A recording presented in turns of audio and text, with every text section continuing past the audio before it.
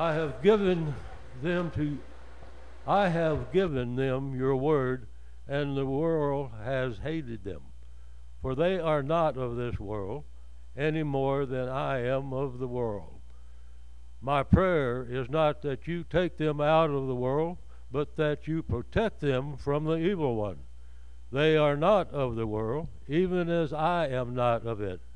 Sanctify them by the truth. Your word is truth. As you send me into the world, I have sent them into the world. For them I sanctified myself, that they too may be truly sanctified. So be it.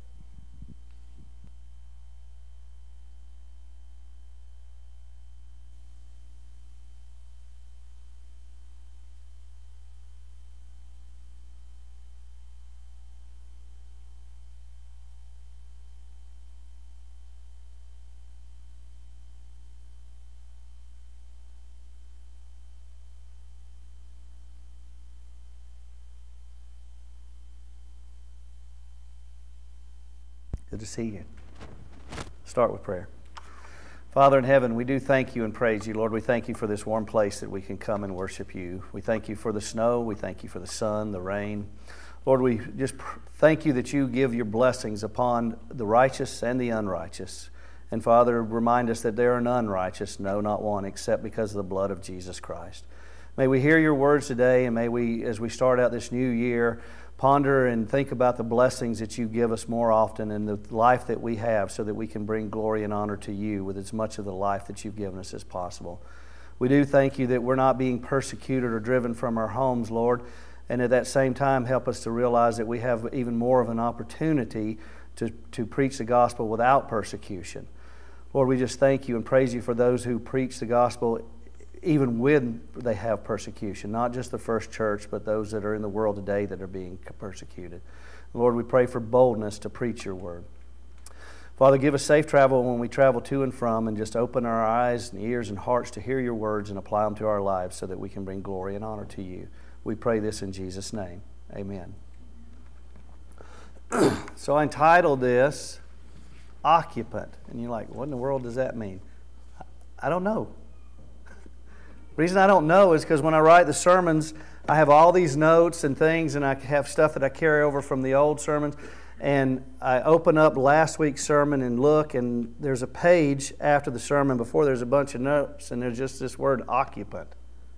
And I don't remember why that's there or anything, and I had no real direction on where I was going with this because of some things happening. If we got the kids, if you didn't know, and we didn't even know we had the kids till they're on the door. so I was in disarray of where I was going with the sermon, and I, I've got this occupant in front of me. So when I finally sat down to start writing, Jesus, he was an occupant in this world. Stephen was an occupant in this world. They lived as foreigners Maybe they knew the time they had. Maybe they didn't know the time they had. I mean, Jesus knew when he was on the way to the cross. I don't know if he knew exactly the time span that it would carry or anything else. He knew from Scripture that his time hadn't come, and then he knew that from Scripture that his time had now come. But he lived his life with God's purpose in mind. Because the only reason that we have life, the breath that we have, the existence that we have is because God willed it and brought it to being. And sometimes we get caught up in all the things that God did create for us to enjoy, and we tend to worship them more than we worship Him. And we tend to not thank Him. And that's where I want to head this, this year to start off. Occupant, that's who I am and I was given new life once I came to that understanding of what God had done for me through Jesus Christ. And I, and I read the scriptures and I study the scriptures and I see that I, that, that I am not righteous. Eh, There's so many times that I want to think I'm more righteous than someone else. And my righteousness that I think I have is of filthy rags. But I am righteous because of the blood of Jesus. So, how can I be more like Jesus in this world? And we have that example of Stephen, who was like Jesus until he did breathe his last. His last breaths were to forgive those who were persecuting and killing him. He didn't understand why or anything else. And we're going to look at, at the beginning of Acts chapter 8 and see that the persecution drove them out into Judea and Samaria. Now, here's where I struggle. Maybe you don't as I, as I study those things. I'm not being persecuted, I'm not being driven from my home. So, how do I live as Christ in the world today? How do we live as a church? And Kim said it before when she was up here. We do with what we have now, but we make sure that we take everything that we have and use it for the glory of God. We don't yearn to be out in a foreign country being persecuted. We yearn to give God thanks and teach our children in what we have. And right now, we have a peaceful country where we still have freedoms of religion in this country. Is it one nation under God? Far from it. But we can speak of God without fear of persecution today in this country. So, as we think about the gifts of the Spirit, we're going to get into that in a couple of chapters into Acts about where the Holy Spirit comes on again in um, Samaria. If we don't have gifts of tongues and gifts of healing, my opinion, I always throw that in so you know that's from Scripture, it's not because the Holy Spirit quit giving those gifts. It's not because there's not as much of a need of those gifts. Maybe it's because I'm not as in tune with the Spirit enough. If I'm not preaching Jesus Christ in my native tongue, how would I ever expect the Holy Spirit to give me another language? Are you being a witness for Jesus Christ? That was his prayer before he left the upper room to be crucified. Merle read some of that scripture today. His prayer was for each of those that would believe, not to take them out of this world, but to protect them from the evil one because they have a mission. So I'm going to go back to Acts chapter 7, verse 51, and then carry us into 8 4 today. Verse 51 Stephen said, You stiff necked people with uncircumcised hearts and ears. Why are they this way? He says it next. You always resist the Holy Spirit, just as your fathers did. And that seems strange at first that Stephen would say that, but the Holy Spirit was there. The Holy Spirit is here now. And even more, the Holy Spirit abides in us. It is what sanctifies us through and through, which transforms us to be like Christ. So if we are not listening to the Holy Spirit, if we're not in tune with the Holy Spirit, then how can we ever expect to walk like Jesus walked in this world, which is what He told us to do?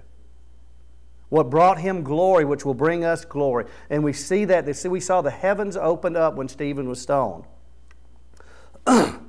Which of the prophets did your fathers fail to persecute? They even killed those who foretold the coming of the righteous one, and now you are his betrayers and murderers. And you will pledge your allegiance to one king or the other. It is either King Jesus or it is not. Verse 53 you have received the law, the law ordained by angels, yet you have not kept it. On hearing this, the members of the Sanhedrin were enraged and they gnashed their teeth at him. But Stephen, because he's different, he's filled with the Holy Spirit, he's like Christ, says it right here. He is full of the Holy Spirit. It's not something Stephen did, it's what God did in Stephen because he walked in step with the Spirit, then right now he is full of the Holy Spirit. To me, that's a preview of heaven. At that point, Stephen was so saturated with the Holy Spirit, he couldn't do anything earthly or worldly because it's all stamped out. Scripture tells you that, that if you do things with the Spirit, that is, that's contrary to things of the flesh, and you won't do those evil desires. So he's full of the Holy Spirit, number one. Number two, he looked intently into heaven. Number three, he saw the glory of God. Number four, he saw Jesus, his Savior, standing at the right hand of God, standing to say, Well done, my good and faithful servant. Verse 56, his reply, because he's so full of the Holy Spirit, and he sees this glory and everything. He says, Look, I see heaven open up and the Son of Man standing at the right hand of God. But there's an opposite here, it's not written. At this they covered their ears. They cried in a loud voice and rushed together at him. They dragged him out of the city and began to stone him. This is a tragedy This is the, the religious continuing to persecute the church to the point now where this should shut their mouths. Get them to stop proclaiming Jesus Christ and resurrection of the dead. Because now we're going to kill someone. We might have been afraid to kill one of the twelve, but we'll kill Stephen. He's just a guy. And they kill him in rage. A tragedy meant to wipe out the church, but what does it do? It makes the church even stronger strong enough that they can be driven from their homes and preach the gospel wherever they go. Let's read on. Meanwhile, the witnesses laid garments at the feet of a young man named Saul. So he's going to come on the scene and we're going to see him really persecute the church. I'm going to say a but in here again that's implied. They were stoning him, Stephen appealed. Didn't stop him. It's nothing that man can do to harm me. Not even a hair on my head touched if it's not in God's will. And then, if I am killed, I get to meet Jesus face to face.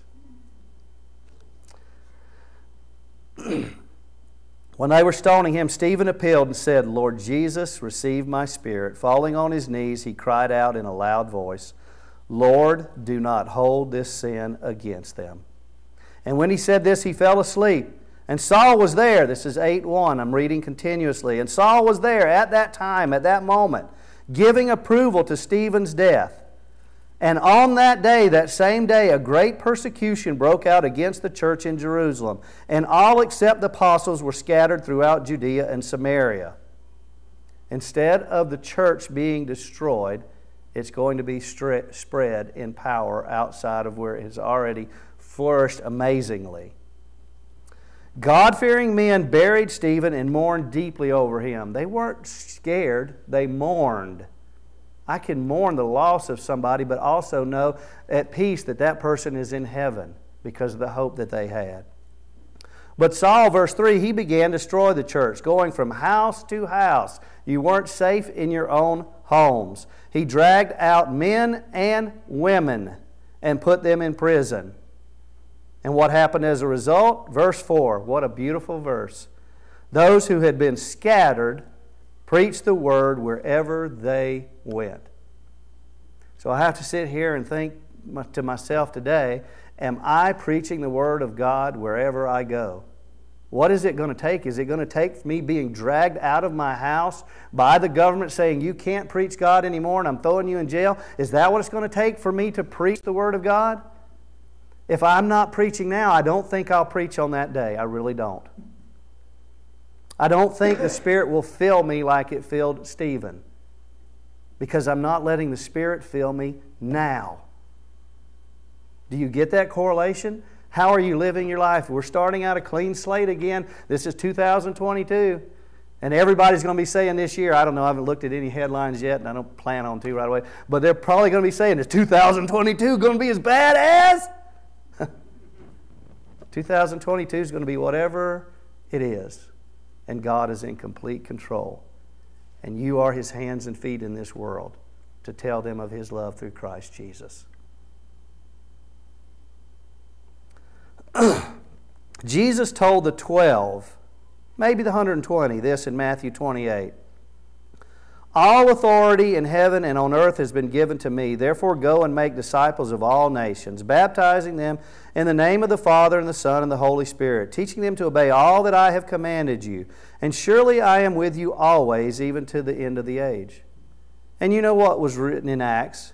In Acts chapter 1, starting in verse 4, and while they were gathered together, he commanded them, this is the, four, the 12, maybe the 120 now, don't leave Jerusalem well, we're getting forced out of Jerusalem now, right?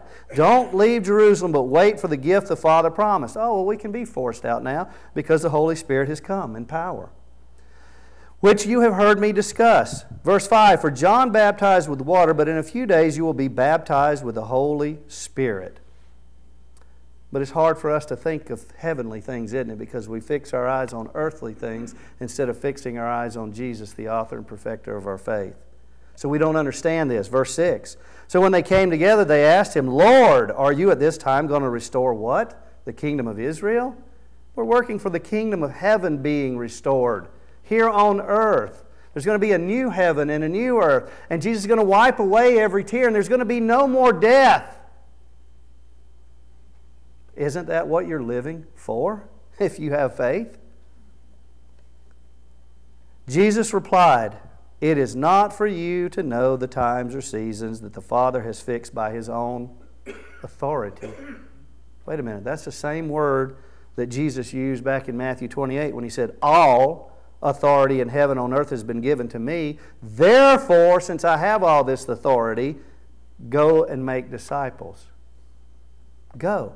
The word go is a continuous go along. It doesn't mean I have to be driven from my home to go. It means as I go, everything that I do each and every day is to tell others about Jesus Christ. By the way I live a holy, set apart life, by the example that they see in me, by the joy that I have, and then if I have opportunity, that I can tell them about Jesus. I can't force it down our throat, but if they see it in me, they will ask me, right, Merle?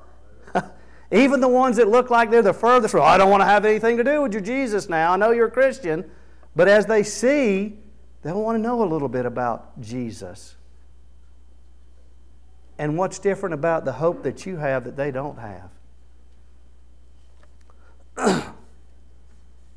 Verse 7 said, It is not for you to know the times or seasons that the Father has fixed by His own authority, but you have authority to go, right? So then, verse 8 is telling again what Jesus told in Matthew 28. But you don't, have, you don't need the authority to know these things. But here's what you do you will receive power when the Holy Spirit comes upon you, and you will be my witnesses. Where?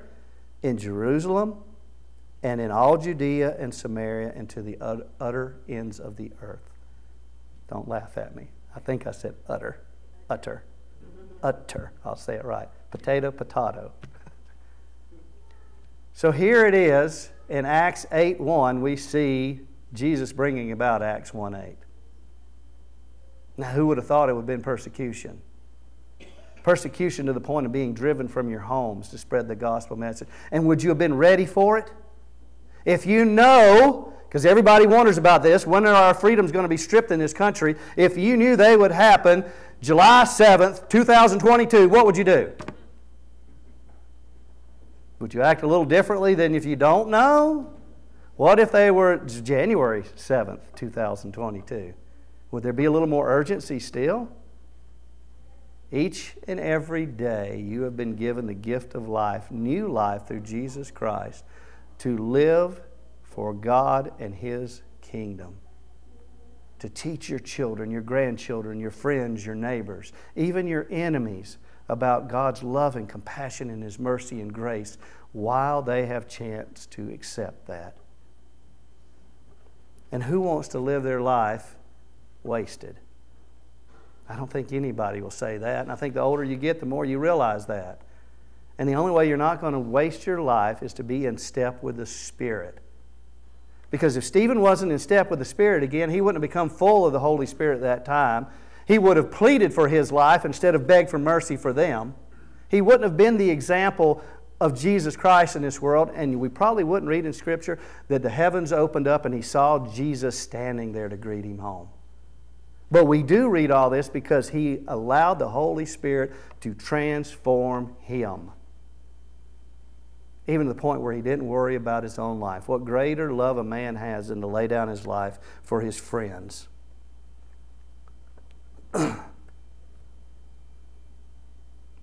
All authority in heaven and on earth has been given to Jesus, and he said, Therefore, go and make disciples of all nations, baptizing them in the name of the Father and of the Son and the Holy Spirit, and in teaching them to obey all that I have commanded.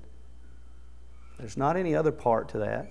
The authority of Jesus didn't say, Go do this, go do that. It said, Be a disciple and make disciples.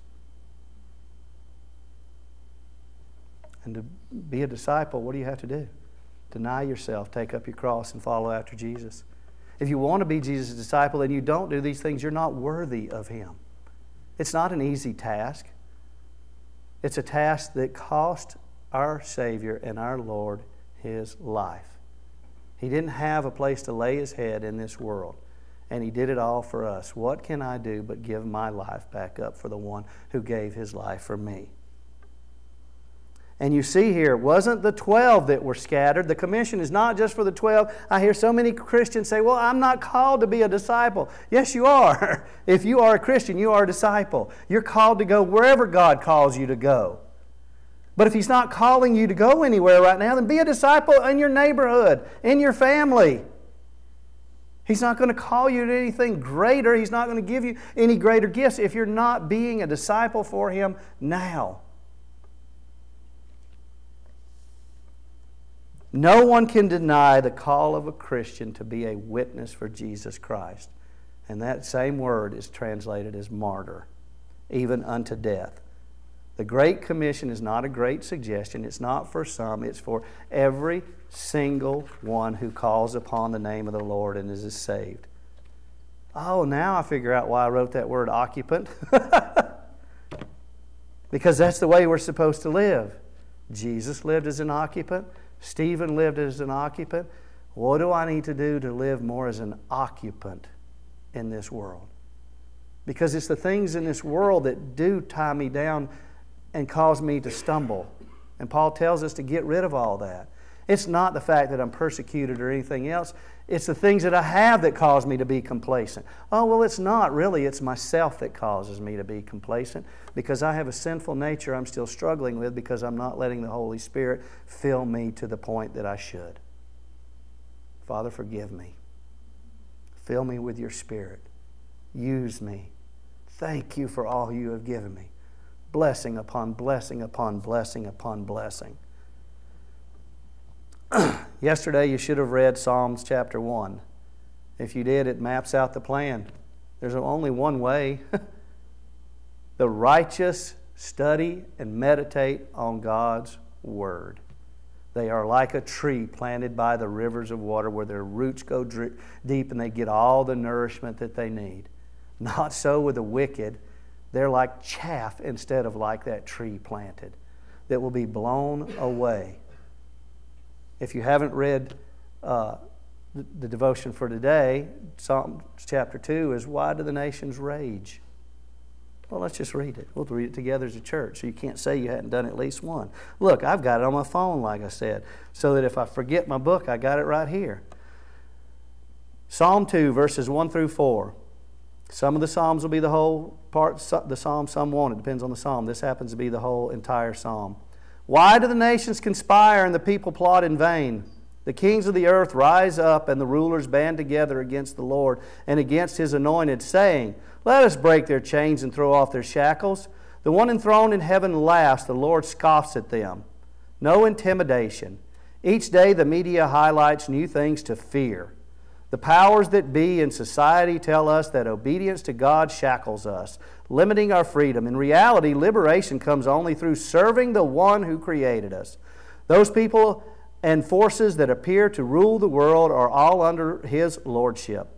And one day they will know it. God still reigns, and we can take refuge in him from all of our fears. So to be intimidated by the world, Psalm 2, is a spiritual is a spiritually fatal as being overly attracted to it, which is what Psalms 1 tells us. Prayer Lord of the world, people resist your claims on human lives. I fear to speak of you for fear of ridicule or anger. But you are not intimidated by the world or its powers, nor should I be. Help me to know the joy of obedience and the fearlessness that goes with it. Amen. That's your devotion for today. There is a path Jesus is the way, the truth, and the life, and no one comes to the Father except through him. And all men take one path or the other. We're going to read on a little bit and read about Philip and read, read about Simon the sorcerer. And it says he, he believed. But did he believe? And that's not going to be where our focus is when we get there because it's not up for me to judge or anything. But if I have life, I should have fruit. We'll go back to Psalm 1 there. I'll bear fruit in its season. You might see that fruit today, you might not see that fruit, but I guarantee you God is faithful, more faithful than you ever thought about being. And if you are that witness to you, your family, you will see lives saved for all eternity.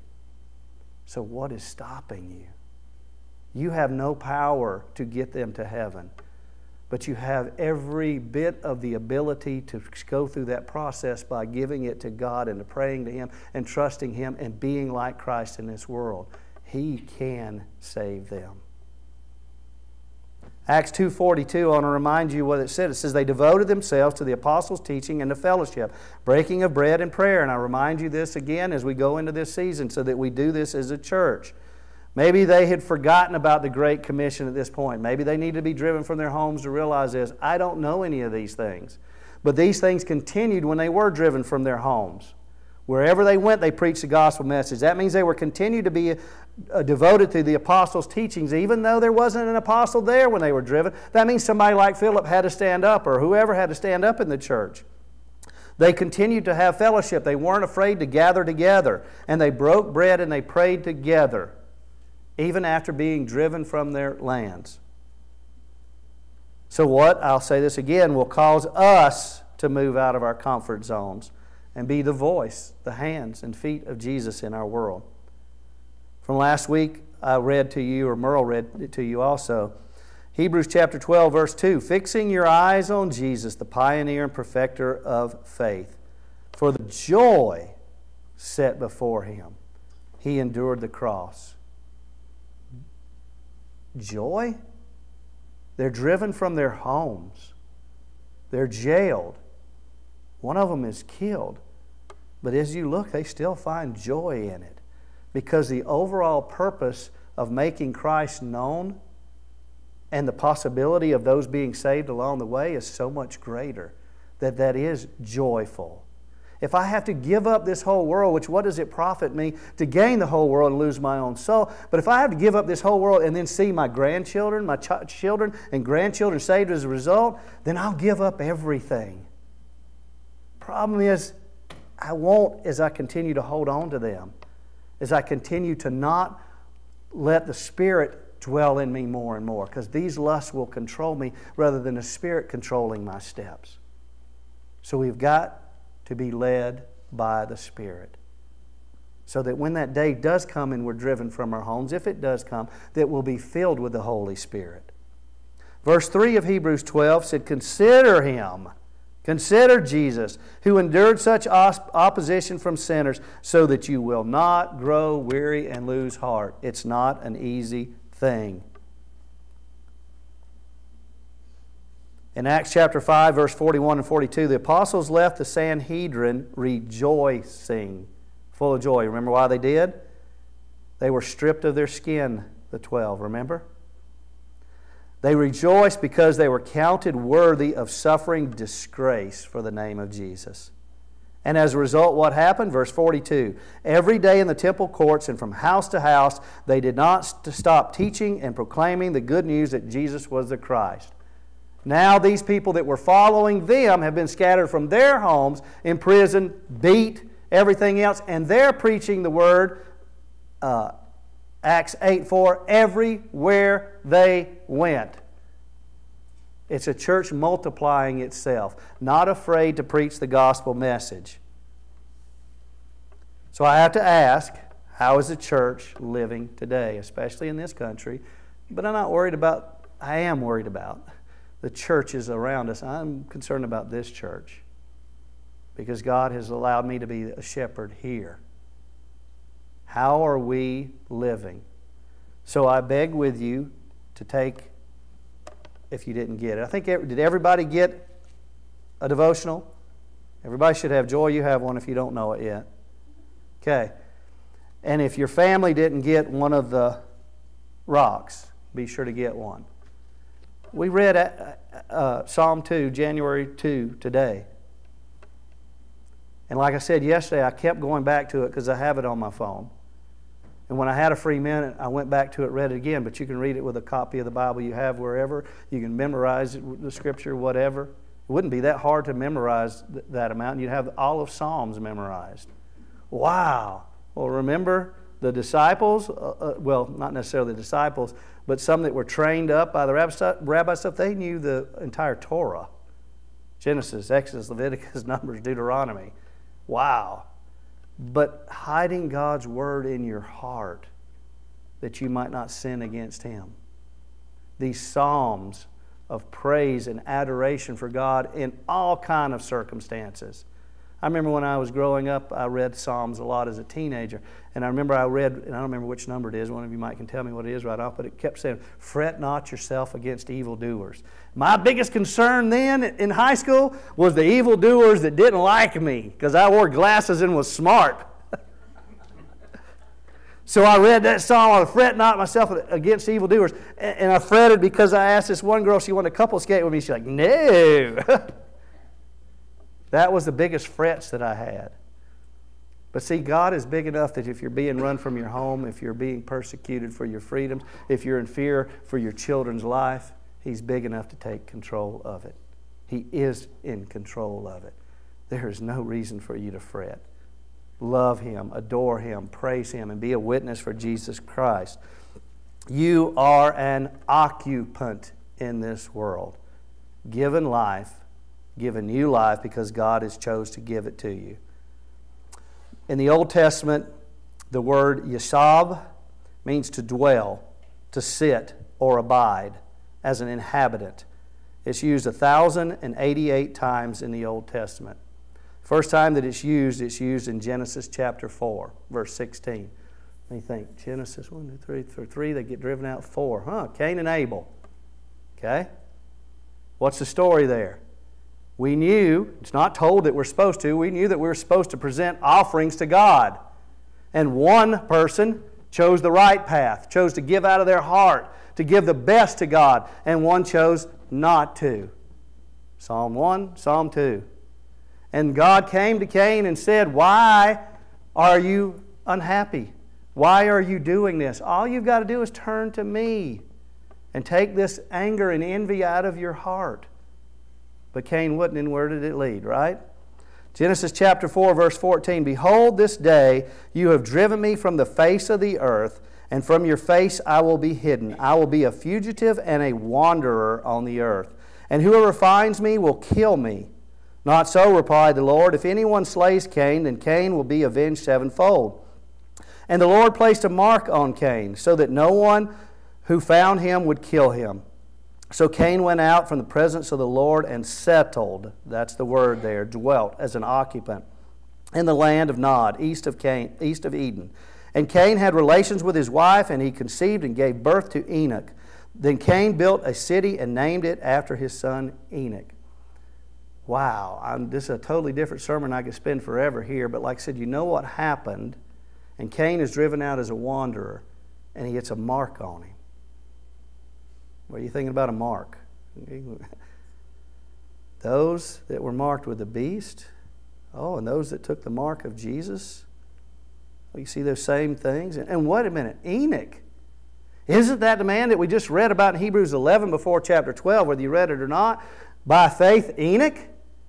One day he just disappeared because he walked such a way with God, pleasing to God, that God just said, Come home. And that was Cain's son. God is a huge God.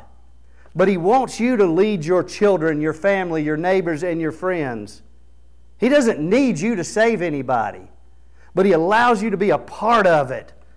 Wow! Are you being your part? By faith. And because we have all these examples of faith, therefore, Fix your eyes on Jesus. No matter how you're persecuted, no matter what your troubles are, consider Him who endured the cross to save you.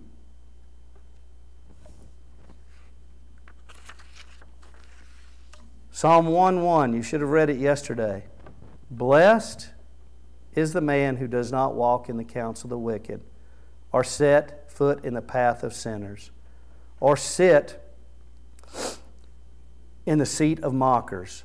But his delight is in the law of the Lord, and on his law he meditates day and night. He is like a tree planted by the stream of waters, yielding its fruit in season, whose leaf does not wither, and whose, who prospers in all he does. I told you I didn't know why that word occupant was written there. It's in Psalm 1 1. Wow. Blessed is the man who does not walk in the counsel of the wicked, or set foot in the path of sinners, or Yashab dwell as an occupant in the seat of mockers.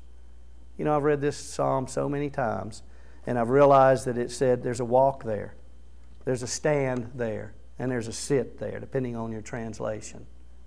Involving all aspects of what we do, rising up. Oh, yeah, rising up and teaching my children along the way as I sit and go and everything else and I'm supposed to go and make disciples. All this is just flooding my mind. But this sit, I never really thought about it as dwelling as an occupant. Because what happens so many times is we walk in those paths, and then we stand in those paths and look, and then we sit down. Maybe it's an easy chair, and we get complacent. And we say, I'm not a wanderer anymore. This is my home. I don't know about you, but I don't want to be that person. This is not my home. It is the place where I can live for Jesus Christ. And as Debbie picked out in one of the songs, for me to live is Christ, to die is gain. I am crucified with Christ, therefore I no longer lives. It is Jesus Christ who lives in me. Before Jesus prayed the prayer in 1 John, I want to read you just a few things that he talked about. That path that we're to choose. You know, John 14, 6. I am the way, the truth, and the life. No one comes to the Father except through me. But as we keep reading, and I'm taking selected verses, truly, truly, I tell you, whoever believes in me will also do the works that I am doing. Don't forget that. He will do even greater things than these because I'm going to the, to the Father. And don't say it's the 12 or the 120 because we've already seen common men and now we see the church being dispersed and preaching wherever they go. If anyone loves me, he will keep my word. My Father will love him and he will come to him and make our home with him. I am the true vine, and my Father is the keeper of the vineyard. He cuts off every branch in me that does not bear fruit. Oh, now I'm thinking of Psalms 1 that I just read again. And every branch that does not bear fruit, he prunes to make it even more fruitful. As the Father loved me, so I have loved you. Remain in my love. If you keep my commandments, you will remain in my love, just as I have kept my Father's commandments and remain in his love. This call for holiness for God's people. I have told you these things so that my joy, that joy that he went to the cross and endured it, the joy that they rejoiced in that they could be counted worthy of being stripped of their skin. I have told you these things so that my joy may be in you and your joy may be complete. This is my commandment that you love one another as I have loved you. Greater love no one has than this, than to lay down his life for his friends. You are my friends if you do what I command. Stephen got to see Jesus face to face, and he said, Not only well done, my good and faithful servant, but he said, Come here, friend. Wow. Because he let the Spirit of God fill him through and through, that there was no animosity, no hatred, only a concern for people to know God. John 17, that part of that prayer that Jesus said, I have given them your word you're going to have to spend time in God's Word. That's why I brought the devotionals to at least get you to touch it. We read one today, it doesn't take long. It's so easy to get distracted and not do that reading today. Next week, I'll probably concentrate on prayer. We'll see, though, see where God takes me.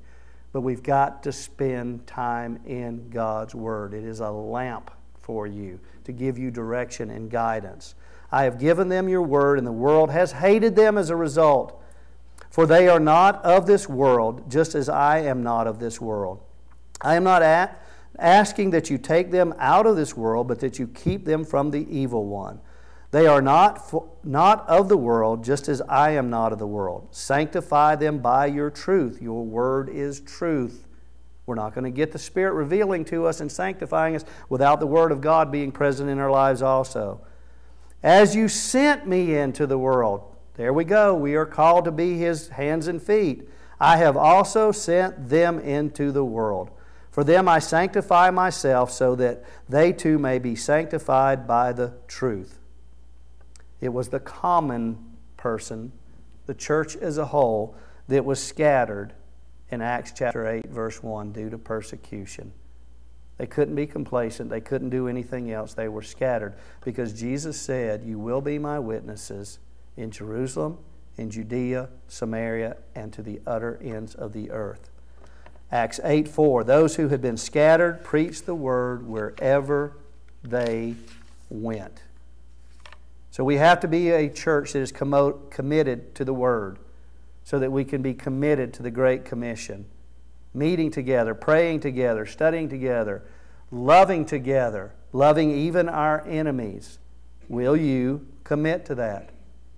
Will you commit to that with all your heart, mind, soul, body, and strength? Because if you don't, it's a half hearted committal. You'll praise Him with your lips, but your heart will be far from Him. Jesus' prayer is clear in John 17. Scripture is clear. Your life is not your own, it is bought with a price. Do you realize that? Will you accept that? Will you love the one who loved you enough to die for you? There's a second word in the Old Testament that could be equated to occupant also. It's gar, pretty simple G A R. It means a sojourner, a stranger, one who dwells temporarily in the land because A, they're a citizen of another country, and B, they're there in that foreign land because they have a job to do. You'll find that in Psalm 19 when we get there. I'll start in verse 17 of, of, Psalm 119. Deal bountifully with your servant that I may live and keep your word. Open my eyes that I may see wondrous things from your law. I am a gar, a stranger on this earth. Do not hide your commandments from me. My soul is consumed with longing for your judgment at all times. You rebuke the arrogant, the cursed, cursed you stray from your commandments. Remove my scorn and contempt, for I have kept your testimonies. Though rulers sit and slander me, your servant meditates on your statutes. Your testimonies are indeed my delight, they are my counsels. Spend time in God's Word. Psalm 2 Why do the nations rage and the people plot in vain? If you're not spending time in God's Word, you're not going to be like Psalms 1, you're going to be more like Psalm 2. I'm sorry. Serve the Lord with fear. Rejoice with trembling. Kiss the Son, lest he be angry and you perish in your rebellion. When his wrath ignites in an instant. Blessed are all who take refuge in him. Psalm 2 goes on. I said before that it didn't. I apologize because these are from Psalm 2. It's longer. So you'll have that in day 3 or day 4. I'm not sure when you'll get to it. The Psalms were a hymn book, the treasure of the people of that day. If they had any written words, like I said before, this is what they had. Rejoice and pray through the Psalms this year. Pick out a reading pattern. Spend time in prayer. Don't Get out of the habit of meeting together and remember that you're called to live for Jesus, to love one another, not just to love people in this church, not to just love people you know, not just to live neighbors in, love neighbors in proximity, but love even your enemies, those that persecute you. So pray for boldness. Pray for the joy and peace that fills your hearts through Christ Jesus. Look and consider Him who faced the cross to save you. I'm going to close with a psalm, and this is from the message. Some of you like the message, some of you don't like the message. It's modern English, but its truths are still there. It's not considered a Bible because there's so many words that are far from the original word. But I do read it sometimes as just a refreshing, and I want to close with this.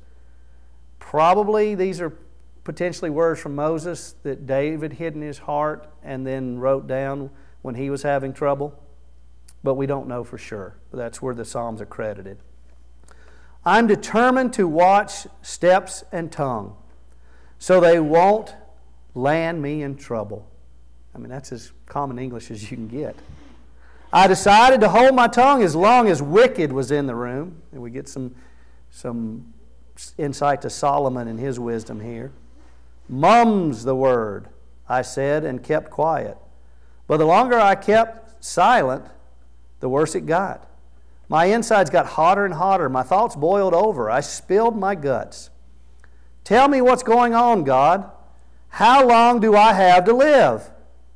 Give me the bad news. You kept me on pretty short rations. My life is a string too short to be saved. Oh, we're all puffs of air. Do you hear Solomon and David's wisdom in this? Oh, we're all shadows in a campfire. Oh, we're just spit in the wind. We make our pile and then we leave it. What am I going to do in the meantime, Lord? Hoping that what I'm doing, hoping you'll save me from this rebel life, save me from the contempt of idiots. I say, I'll say no more. I'll shut my mouth, since you, Lord, are behind all this. But I can't take it much longer. When you put us through the fire to purge us from our sins, our dearest idols go up in smoke. Are we also nothing but smoke? Oh God, listen to my prayer, my, to my prayer, my cry. Open your ears. Don't be callous. Just look at these tears of mine. I am a stranger here. I don't know my way, a migrant like my whole family. Give me a break, cut me some slack before it's too late and I'm out of here. Father in heaven, may we live as temporary residents, not because our time is unknown, not because our days are short, but because you have given us the blessing of each and every day. No matter how long, no matter how short, may we live each and every day as a blessing to you. May we be a people united and sharpen each other as iron sharpens iron. May we be accountable to one another. We may we even point out sins in our lives, not to condemn, but to draw out that disease out of our lives, so that we may be a righteous, set apart church that brings glory and honor to you. Give us the mindset in the heart of Jesus Christ where we love others, even to the point of sacrificing not just sacrificing, but giving up our lives to save others. Lord, I also pray a blessing upon each and every one here. I thank you for the spirit of unity that is in this church because the Spirit of God dwells in this church.